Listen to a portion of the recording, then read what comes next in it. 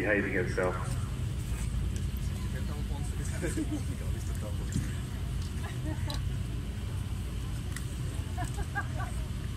Okay, so next up, this is all about the pin-ups of 2000 and beyond.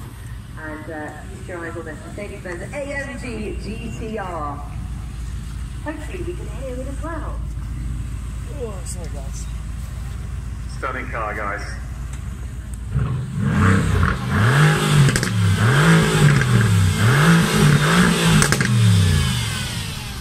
Wow, yeah, that was nice. Boys and their toys. Love it every time. Thank you. See you later. Now, interestingly, that model holds the record for the fastest production rear-wheel drive car at the Nürburgring. Yeah, under 7 minutes and 10 seconds. Very impressive.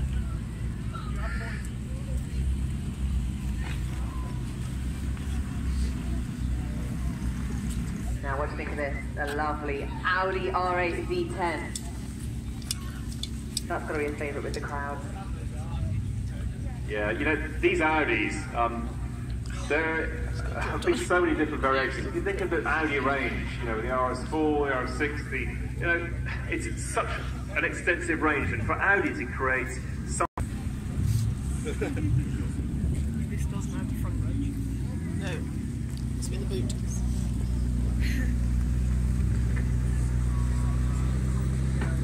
I think I missed it weeks since I thought it Oh, well, this is a, a good old favourite of mine. Um, this is the McLaren 650 SQK. Now, interesting to see, we've got two lovely ladies. Hello, girls. How are you doing? Who does this belong to? Are you enjoying driving it? This is one of our favourites. I was lucky enough to drive this around Silverstone about a month ago, and uh, I had a lot of fun. I recommend you, you ask him if you can take a trip up the M1. It was the first car I drove up a Goodwood Hill climb. Oh, which, really? Uh, I can tell you, was petrifying.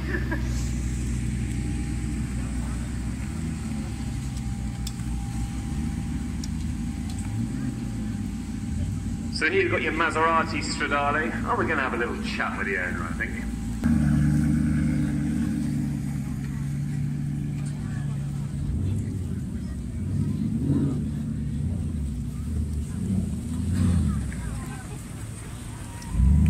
Well, this is a rather unusual one. Uh, the Spyker, the C8 Laviolette. Uh, owned, privately owned, and uh, look at the colour. I mean, just it's just quite different to anything else that we've seen today. It really is. Spyker itself was a brand.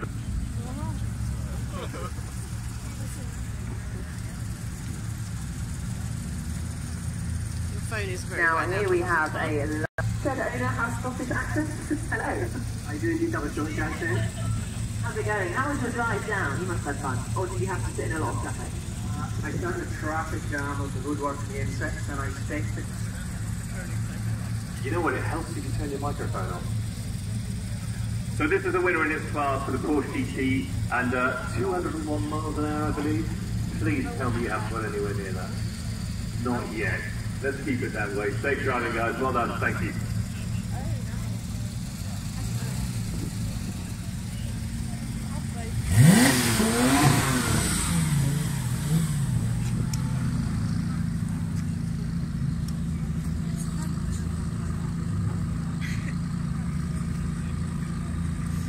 So up next we have the McLaren 570S um, with a rather nice colour combo. I'm enjoying this. It's a kind of blue with a bit of special orange interior detailing. Very nice indeed.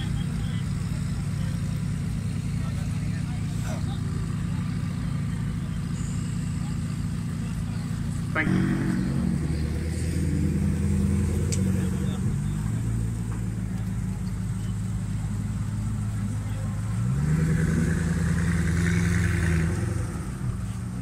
And that was only just a Koenigsegg Agera RS. Um, absolutely stunning hypercar from Koenigsegg. Christian Koenigsegg himself has been here at Salon many, many years with um, uh, many of his Koenigseggs. McLaren 605 LT just passing. I think we need to slow these guys down a bit, don't you, Nicky? This It's your Aston Martin Vanquish, of course. This is your VS Volante. Beautifully pronounced that. Are you? Half.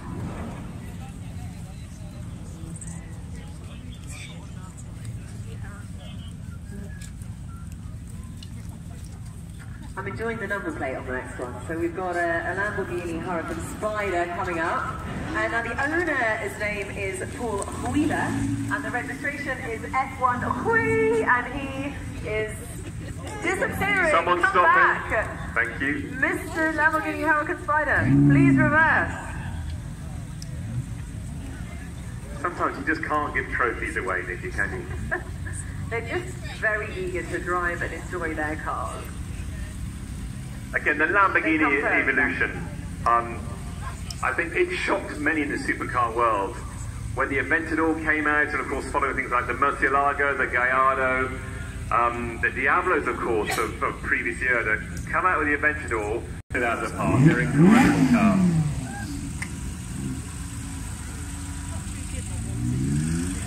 And on the opposite end of the spectrum, we have this lovely old 1989 Porsche 911 930 Speedster. And uh, what a gorgeous looking car. It's a shame they can't get that roof down there. Stunning cars. They're absolutely timeless.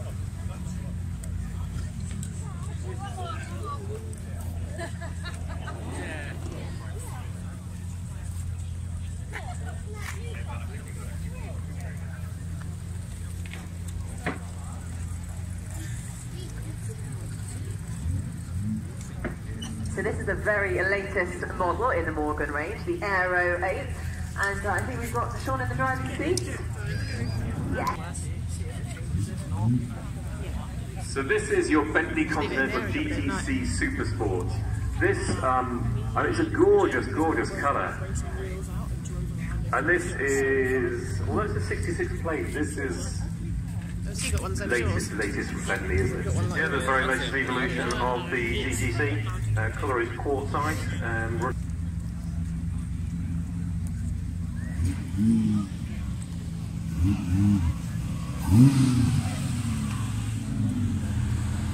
So here we have the uh. Very brave drivers there. They are roughing it. They haven't even got an umbrella for protection. Um, but they look like they're enjoying themselves. Now this is actually originally based on the Ferrari Testarossa chassis. Are you having fun? I think so. I, I think it's good. Yes. Said you. Thank you. Wait! So guys, this is one runner-up in the Super Roadster, so congratulations to you. Huge congratulations. Again, Bizzarrini, super, super rare. The previous models of this was something called a Bizzarrini 5300 GT Strada. So, and look at the rear as it goes by. Massive, massive rear. That's the car I'm talking about. This one go any slower? Right, what's up next? Could this one go any slower? So come on through, Mr. Ferrari, uh, uh, uh, 458 Speciale Aperta. Um, now this is also a rather special car. Nice livery. Hello guys, how are you?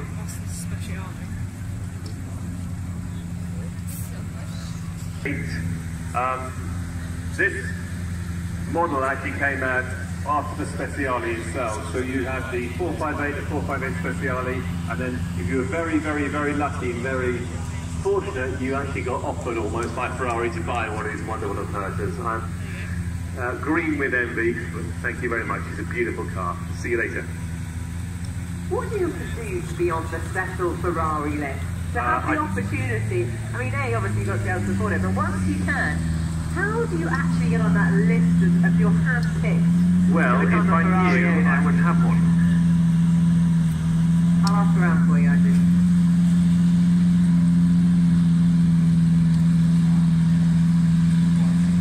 I like the colour.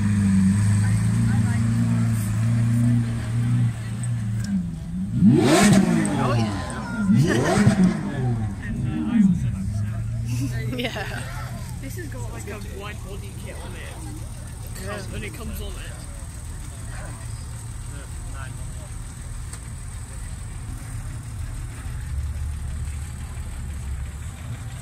Okay, and next up we have a car belonging to Ian Campbell. It is, of course, the incredible Porsche 911 911 GT3 RS. Come on, come a bit closer. Get that engine revving.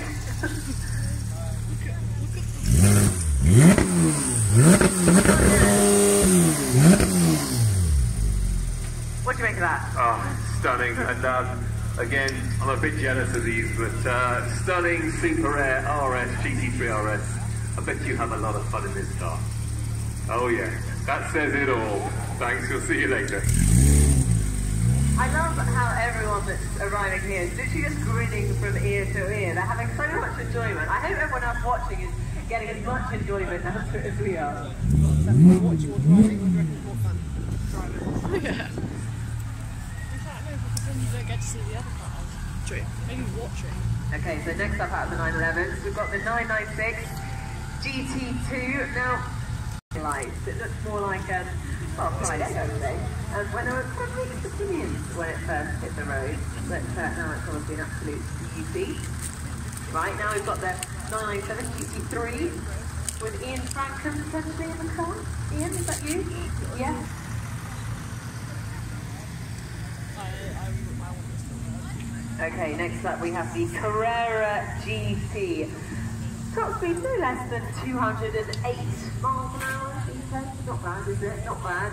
Um, now, I believe only 1,270 of these cars were made, and it was actually built to race at Le Mans. But unfortunately, the rules changed, so they never had the opportunity to race.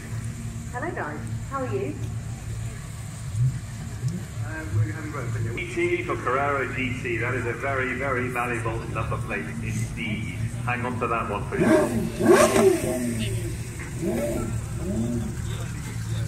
Right, now it's pretty difficult to get your hands on one of these. It is a 991 to GT3 owned by James Pope. Or uh, F40 after these two. Every time a car comes past, I think there's that's gonna the one like I want. I want that one, row. but I keep changing my mind. What, And what, then what's got your F50. eye I want on? this What's your- one as well. This one, okay. This is yours, but... Porsche RS 4 litre. Again, look at that wingtail. Absolutely stunning livery as well. That is a real super favourite of mine. Mark Frankel just gone flying by in another RS 4 litre. As if they're 10 of 10 each. Yeah, the video in.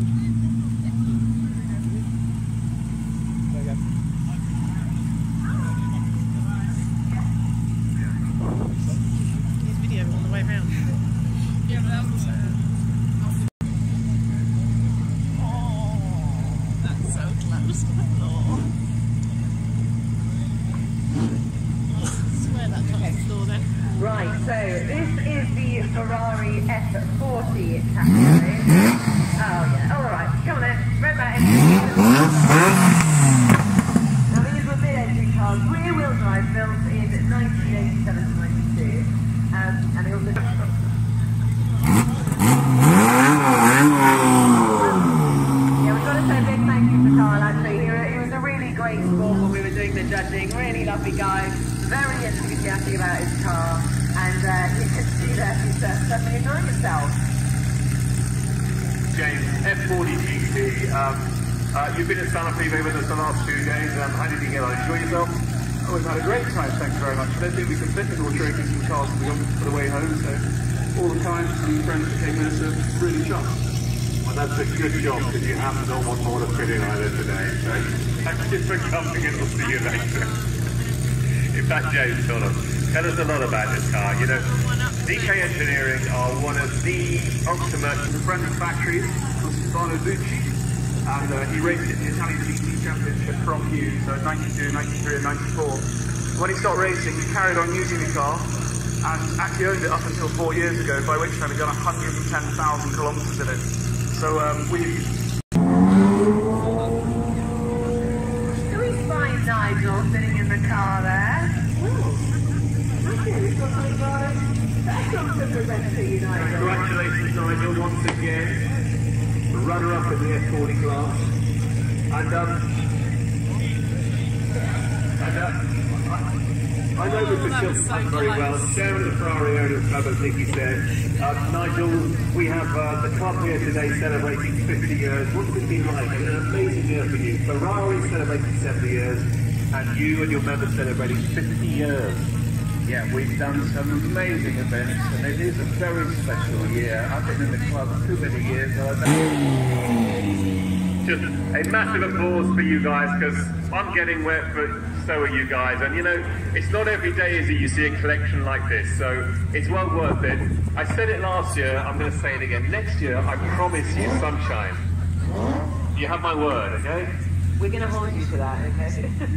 but amazing to see those F40s. And to think that some of them, you know, they're selling for millions and millions of pounds, and to have them all in here is uh, very, very special. Now, on to Class B, which is, of course, the hypercars, probably one of the most popular categories. So first up, we have the Bugatti Chiron, and I'm going to have a quick chat to Katie, who's in the passenger seat. Hello, how are you doing? Tell us about your absolutely amazing car. Hi Nikki, I'm good. Um, we're having a great time. Um, enjoying seeing everyone's reactions to the car. What, what are the best reactions been to your car? Um, it's nice to see the children enjoying it. Um, especially And showing it off, it's And- been uh, wonderful to see. You've spoken to Katie, I'll have a chat with Sergey, All right, shall. I? Double up. Just under 1500 brake horsepower, get this, 0 to 60 in 2.4 seconds. You are literally sitting on a rocket.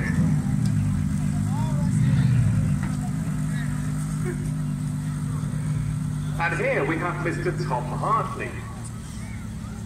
He's got, he's got a good a story, Nicky. Should we let him tell his story? Well, if it's bad, we're just going to cut you off, so make it good, alright? It's better to get Tom. Here's a mic. Okay, Andrew, ladies and gentlemen, this is a true story. I came to Mr. Badgley 40 minutes ago, and he said we never had the car in the parade. I tracked the guy down who owns this car, bought it off him, changed seats, put the plates on it, and here we are. And knowing Tom Hartley, that is the truth. Tom, I mean, you know, what a way to celebrate Ferrari's 70th year. You know, this is just such a stunning model, and it epitomizes everything about Ferrari. Stealth, elegant, brake horsepower, and just pure and utter vitesse. Stunning car. Thank you so much for everything you do for us as well. Why can't do that? Thanks, Tom. We'll see you later.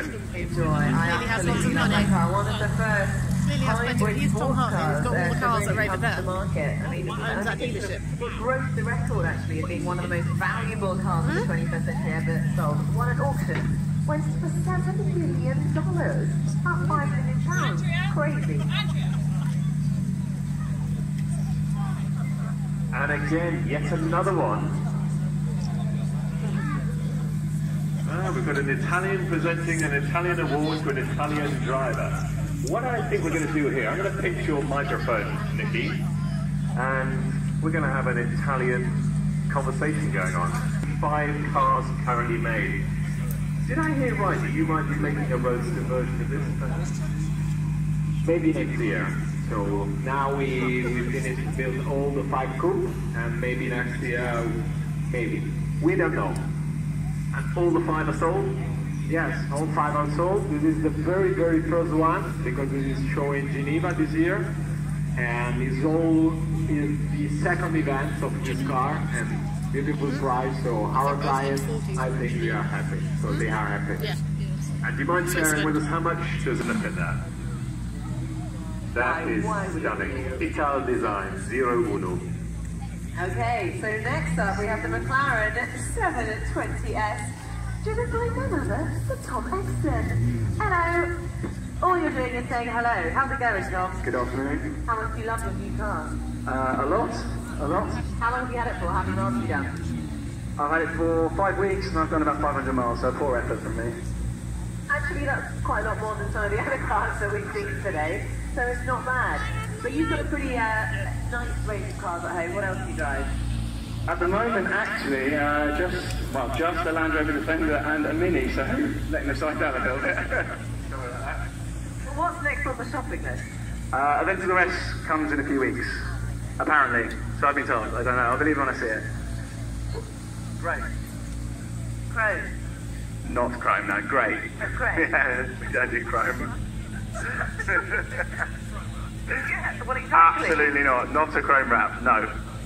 Give it a few months. Give it Yeah, a few months. we'll Cool. Tom, thank you very much for coming down, and uh, we will catch up with you later. Thanks, Tom. That's not bad, is it? You know, 720S five weeks ago, and, then an Aventador S turns up. I think this bloke's got a thing about S, I think. And he's got a nice number plate on there as well, TGE, which uh, is the name of his, uh, well, Instagram slash YouTube. Right, okay, well, we've got a rather special looking car here. Uh, this is the McLaren P1, but it has been wrapped. Obviously, uh, inspired by the Gulf livery, and this is originally in a kind of uh, burnt orange colour, um, but it has been wrapped to look like this, and it looks absolutely stunning. We love the detailing on this wrap. Thanks very much, Steve. The